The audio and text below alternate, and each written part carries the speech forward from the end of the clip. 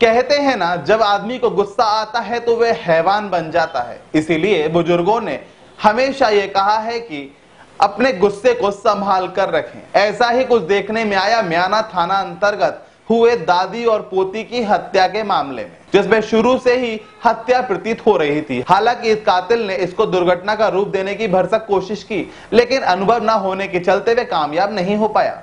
बता दें कि चार दिन पहले म्याना में डबल मर्डर मिस्ट्री बनकर रह गई थी, जिसकी रूपरानी भदौरिया और उसकी मासूम पोती अनिका की हत्या कर दी गई थी। इस घटनाक्रम में रूपरानी का सबसे छोटा बेटा शुरू से ही पुलिस की आँखों में खटक रहा था। वहीं दीपक वह व्यक्ति है जिसने दोनों की मौत के बारे में पुलिस को सूचना भी दी। लेकिन दीपक की बातें और दोनों मृतक के शवों को की बातें एक सी प्रतीत नहीं हो रही थी। पुलिस को पहले से ही दीपक पर शक था कि कहीं ना कहीं कुछ गड़बड़ है, क्योंकि दीपक शुरू से ही कहता आ रहा था कि करंट लगने से दोनों की मौत हुई, जबकि महिला और मासूम बच्ची के शव को देखकर समझ में आ रहा था कि घटना करंट के कारण नहीं हुई, क्योंकि पूरे आँगन में खून फैला हुआ था। जब इस मामले में पुलिस थाना प्रभारी ने पूछताछ शुरू की तो पहले दीपक मना करता रहा, लेकिन बाद में वह टूट गया। उसने पूरी हत्या का विवरण पुलिस को दिया।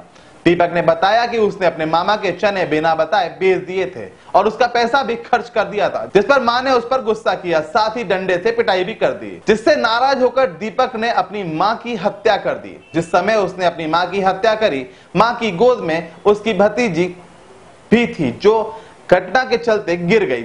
जिसके बाद वह रोने लगी। जिससे दीपक का गुस्सा और बढ़ गया, उसके बाद उसने करंट की तार को अनिका के गले में बांधकर उसे कई जगह करंट लगाया, उसे तब तक करंट लगाया, जब तक उसकी मौत नहीं हो गई। इसके बाद उसने झूठी कहानी रची और शवों को हॉस्पिटल भी ले गया और लोगों को बताना शुरू किया कि करंट से मौत हुई।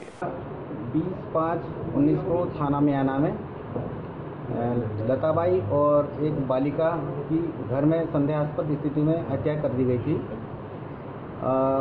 उसका पीएम कराया गया। तब पुलिस को स्पष्ट हुआ कि सिर में चोट के निशान हैं और और जगह भी चोटों के निशान पाए गए हैं। इस संबंध में मर्तिका के बालक जो घर में रहता है, दीपक, उससे पूछताछ की गई।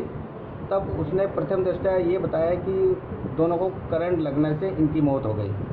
लेकिन उसमें तथ्यों की छानबीन करी, तब ये स्पष्ट हुआ कि मृतक मृतिका को और उस बालिका को दीपक ने ही लट से मारपीट करके हत्या की है और उसका कारण पैसे मृतिका से मांगा था, दीपक ने।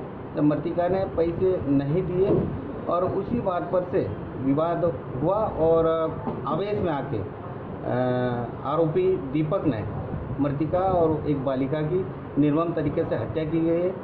उस मामले की छानबीन के लिए एस साहब और प्रोफेशनल डीएसपी को छानबीन के लिए नियुक्त किया गया और उन्होंने गहन पूछताछ करने के बाद मामले में सफलता प्राप्त की और दीपक को गिरफ़्तार किया गया है और एक बड़ी सफलता पुलिस को हाथ लगी है। सर क्या रीज़न था? पैसे क्यों मांगे? क्या नशे का आदि था? नशे का आदि नहीं था लेकिन चूँकि आरोपी उस आवेश में आके और पैसे की लालसा माँ से मांगने की इच्छा रखता था और नहीं दिया इसीलिए उसने हत्या कर दी। तो बच्ची की हत्या बच्ची बच्ची जैसी माँ को मारा तो बच्ची रोने लगी।